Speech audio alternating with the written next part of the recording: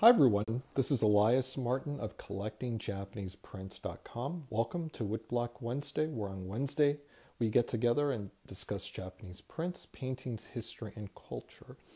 I've had a busy couple weeks. I missed last week um, and missed all of you, uh, but I was doing some business travel and now I'm back and I picked up a few interesting things. So in the coming weeks, you'll certainly um, see those on future Woodblock Wednesdays. But I thought today I would discuss a couple works that just come, came into the gallery, and they're by a very fascinating uh, Sosaku Hanga artist, um, Koyozumi, Koizumi Kishio. And um, so, you know, we'll, we'll look at a couple pieces uh, that are here that are different that represent different aspects of, of his body of work, a really early period piece, and then something that's sort of part of his most celebrated um, body of work. Um, but before we get into that, I just want to welcome all of you. I want to acknowledge that a lot of you now are watching these videos on YouTube. Uh, of course, this video was produced live here on Facebook Live. Um, but they are all downloaded and archived on YouTube, so you could easily access my other Woodblock Wednesday videos or my seminars. They're all listed on my website at collectingjapaneseprints.com. So if you go to Woodblock Wednesday or to the, the events page, you'll be able to access the videos. Um, they're all linked to YouTube, and you go check them out. There are over a hundred Woodblock Wednesdays, uh, so there's a lot there. Uh, so for all of you who are interested in different aspects of Japanese prints and paintings, I'm sure there's something there for you. All right, so um, welcome, as I said, to all of you watching. Um, I have a couple of works uh, that I think might interest all of you. So without further ado, let's go to the table and have a look. So I'm going to back up so you could um, see the table. I have quite a few things to discuss, but really uh, they all center on two prints. Um, and so I just quickly show you this one, uh, but we'll start with this work.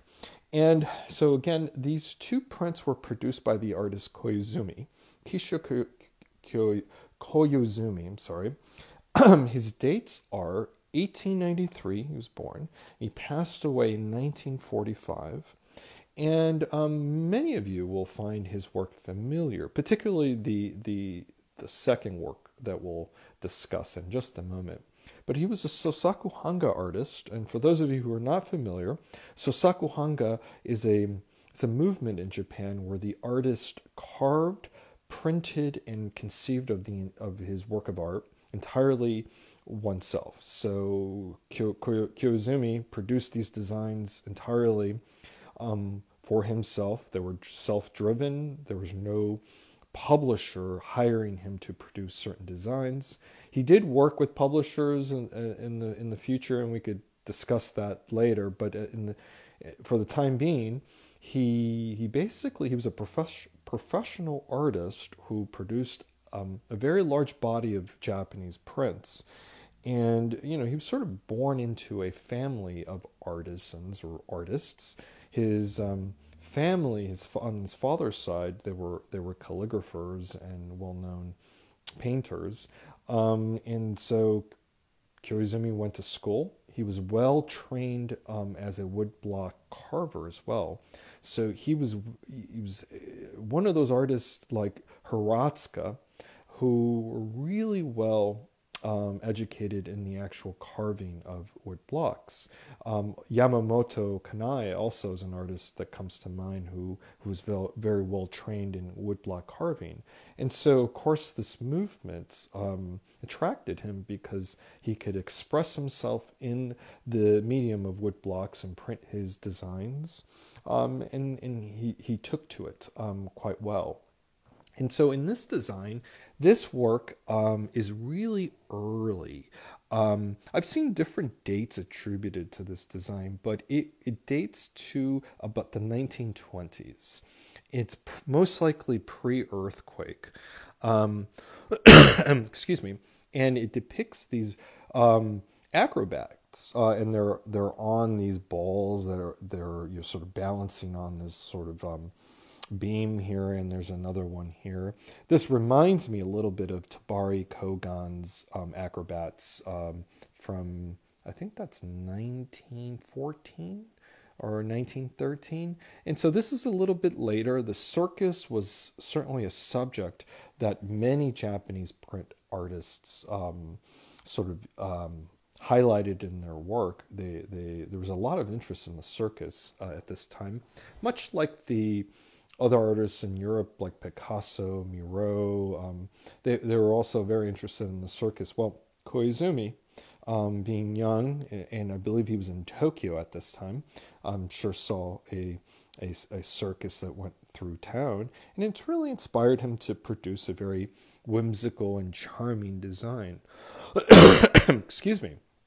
Um, the the work has kind of like a rough sort of quality to it, very early Sosaku Hanga esque. So you, you still see the area here of of the of the printing block where he you could still see the the, the almost like the gouges that are left from his carving out the block. Very expressive and you could still see the the lines here that show the hand of the artist carving the block. It has a very uh, immediate quality quality in, in the the design. It, it, it, has almost like a painterly effect in the sense that the the block looks very um, expressively carved, quickly carved, um, and so you know, I'm zoom in. You could see the the detail of the lines. And the pigments, the way that they're applied, are kind of loose. You know, you could see the yellow coming out from the line here. It's not really kept within the fi- confines of the uh, black outlines. The blue extends beyond the the the lines of the shirt, and, and that's what you see in this early period of Sosaku Hanga. Um, the the movement started with Yamamoto Kanae in 1904, and this is about roughly 15 years um, from when it was uh, started. And, and this is right early when uh, um, Koizumi went to, to, study woodblock carving. He, he studied art. He basically studied art in school and studied painting, but also woodblock carving. And here you, you, you see this early work that almost has the kind of the quality of, of a early Hiratsuka. The colors are sparse. There's only three colors or so, three or four colors. Um, and so it's really about the carving and the design that comes through. Very expressive, and I, I think it's very charming. We have here an early um, signature Kishio Koizumi. It's kind of a stamp. You see that. You also see it in his later printing um, or later designs. And, and this is actually carved directly into the block. It's Kishi. And again, very early from the from the 1920s. I'm going to zoom in one last time so you could see the, the printing. It's interesting in many ways when I look at this print um, I don't automatically see, uh, you know, Japanese prints in my mind. It, it, looks almost uh, very European. Obviously, the subject matter is sort of inspired by the European style circus that was traveling through Japan. Um, and of course, the subject certainly creates the whole mood of the of the print, but the colors and the printing I mean, they, they look very much like something out of a German expressionist um, uh, body of work. So, you know, this still has a very strong European quality to it. Um, and I think partly it's because these artists were influenced by the German expressionists and other printmakers that were active in Europe. And they saw their artwork come into Japan as uh, from the, the prints themselves, if not through exhibitions or publications. So the next work I want to talk about is this really striking woodblock print. Um, and this is one of his most celebrated designs. Um, you know, so Koizumi is one of those artists that was very active as a woodblock print artist, um, he was a professional uh, in the sense that he he lived off his art. Um, many artists weren't professionals. Um, many artists working woodblock printmaking, at least, did not um, have the same fortune as living off their their you know their skills as artists. So he was very active and produced a series of 100 prints in the in the in the 30s. Actually, he started the series in the late 20s. Um, I think, believe the, the series started in 1928 and it and concluded in about 1940. And the series was called 100 Pictures of Great Tokyo in the Showa era. And, and so these prints, you know, he produced each design um, himself. They were hand carved and hand printed.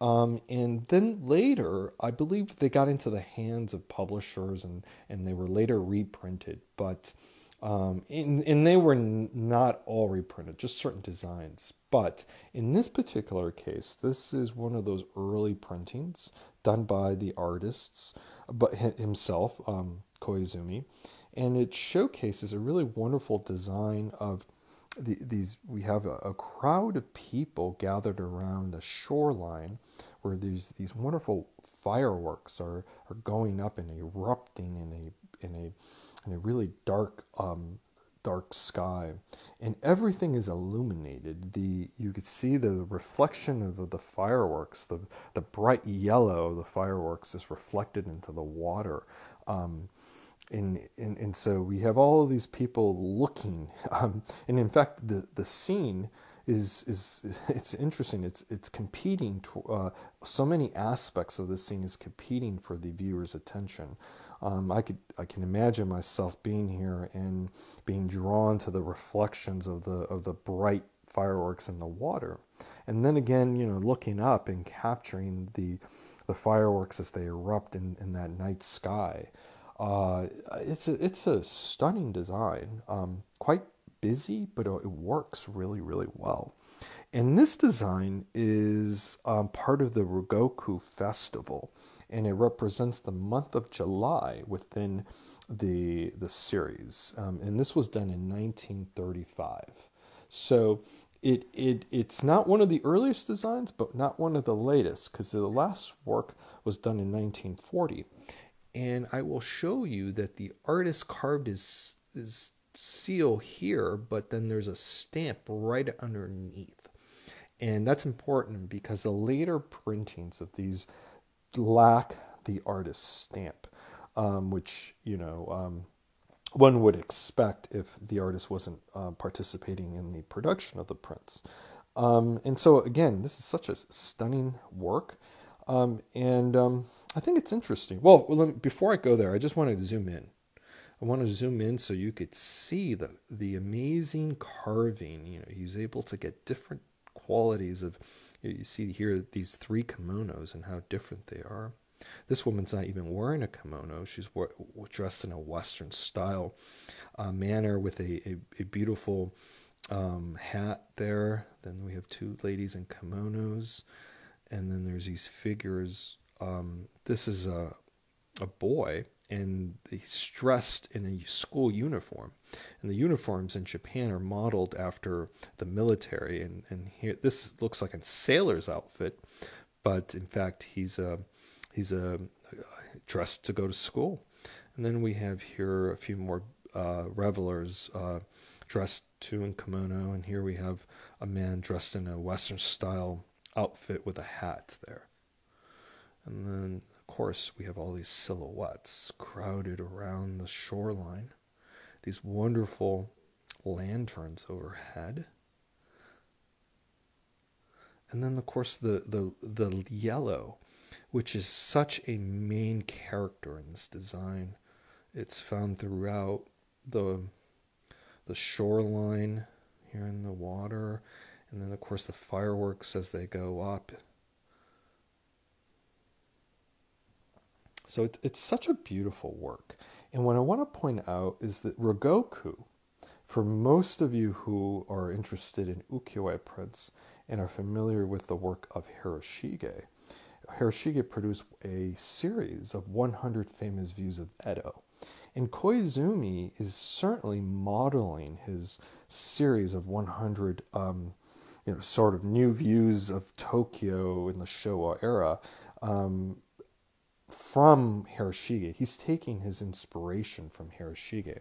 And here I have one of uh, this is a fantastic reference uh, for Hiroshige and for the series. I happen to have one uh, available in my bookstore if you're interested, and it illustrates the entire series.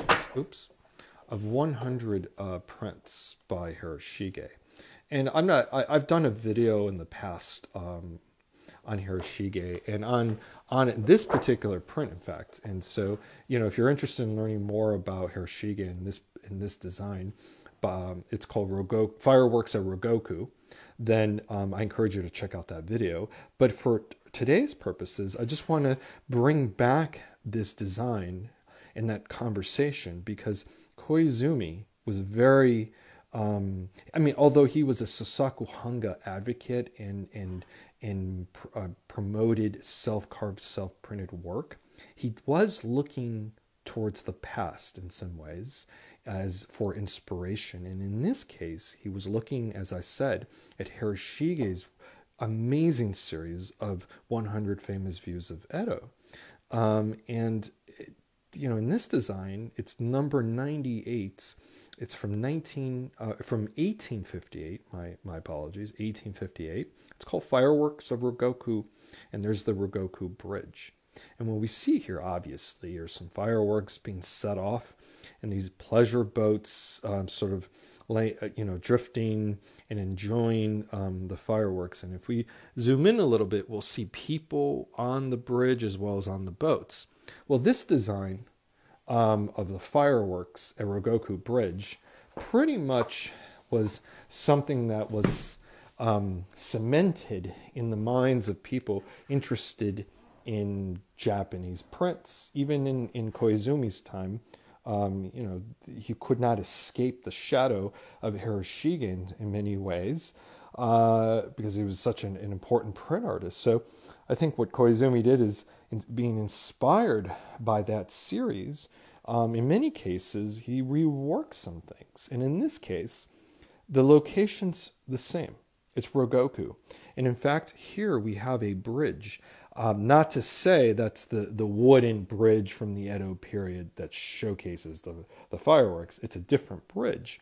But the scene is very similar in the sense that we have a night scene with fireworks at Ryogoku, and here's a bridge.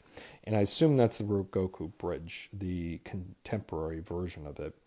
And so in his, uh, in his case, he's revisiting this idea of this festival that occurs in July and but he's reworking it to showcase the same subject in a contemporary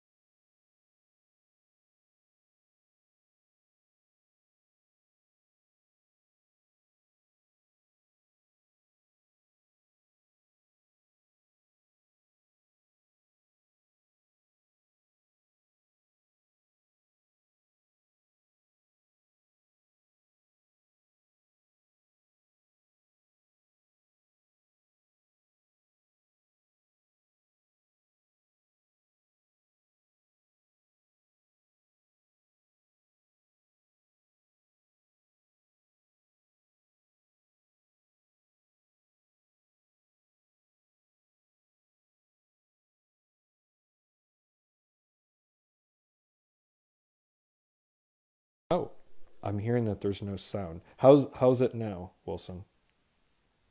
You there?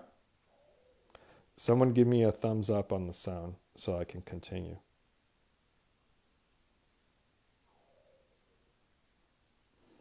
Well, uh, well, I'll continue unless I, I, Okay, good. Thank you very much. I appreciate that. Uh, I, think the the the headphones moved, and so as I was saying, this print uh, design was influenced by Hiroshige, as we just looked at that design from the fireworks at Ryogoku Bridge. And although Koizumi was very staunch, staunchly opposed to Edo period style printmaking, or, or Shinhanga of his time, so he was much more interested in producing prints himself. Nonetheless, there's this connection. There's, there's a connection um, from the, the contemporary um, 1930s looking back about 100 years later to Hiroshige's time. So I think that's pretty cool. Um, and so um, moving on from the, the two prints, and we'll revisit this in just a moment, I want to highlight some other books that showcase this, um, this series. This book is a, a Japanese publication. It's entirely in Japanese but it is one of the only books that highlights the entire series in color. In here we have, of course, I, I set it to the page of the of the design we're discussing, um, but it showcases the entire series and it's in color and it's kind of hard to find um, and so but i happen to have a copy of this book in my bookstore available uh, for sale so if you're interested please uh, visit my bookstore. Um, but this this this book is very important if you want a visual representation of the entire series. It's in color, and the book's quite large, so you know it's, it's a good book. Uh, there is an English language book dedicated to the series. It's called Tokyo, the Imperial Capital, with black prints by Koizumi, 1928 to 1940. And um, this book does not illustrate the entire series, but there's essays in here. They're quite valuable, in my opinion, um, that highlight the era um, when when Koizumi created these prints, and many are discussed, but um, but I would say about a third. So you're still missing quite a few. Um, um, so if you're just looking for pictures, this is probably the best book available. But there's one last one the, the Nihon no Hanga Museum in Amsterdam produced this exhibition catalog. Um, they highlighted the entire series. Um, I believe they have the entire series in their collection. And this book, uh, basically, it's a small book, um, probably the size of a Chuban size print, but it discusses Koizumi. Uh, there's some really help. There's a helpful essay in here, and of course the, the prints themselves are illustrated, all hundred. Now they're they're not all represented in large scale. This this design happens to be a full page illustration, but the others are not. Um, some of them are quarter page or half page illustrations. But this might be a good alternative. Uh, it's smaller, but the essay is helpful. But if it were me and you're interested in learning more about Koizumi, I would get all three um, why not? Uh, it's it's possible. So um, I have this book as well as this book available at the bookstore. Excuse me. So well, I'm just going to come back to the prints themselves to showcase how beautiful they are. Um, it's, it's just fantastic to be able to see these. Um, very very privileged to be able to get them this week. It's been very cold here in Chicago for the last month, kind of gloomy and rainy. And so it's really nice to be able to be reminded of summer uh, nights with fireworks. So this design really um, helps uh, bring bring me up and remind me that there are warmer, nicer days um, ahead. And of course, last um, again, this is the first print we discussed. It's a very early work circus design by Koizumi from the 1920s.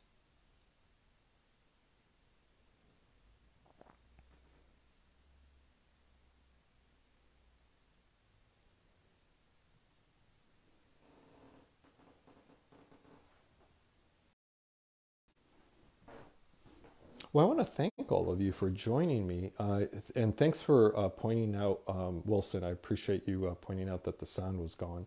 Uh, sometimes the headphones become loose at the on the on the phone, and and I lost you for a little bit. So I'm glad uh, we were able to fix that. So um, if you just if you're just joining us, i will be uploading this video onto YouTube, or you could check it out on my profile on Facebook, um, and check out the first part of the the video. So I want to thank all of you uh, for joining me, and so we'll do this again next Wednesday on Woodblock Wednesday. And so if you haven't visited my website, it's collectingjapaneseprints.com. We have an amazing selection of prints and paintings, as well as a bookstore full of wonderful, rare, out of print um, or hard to find reference books on Japanese prints and paintings. And there's a little bit of everything on the site. There's information for exhibitions all over the world, as well as an archive for these videos. So there's a little bit of, everything for everyone. I hope you uh, pay us a visit. So I will see you in a week uh, next Woodblock Wednesday. Until then, thank you.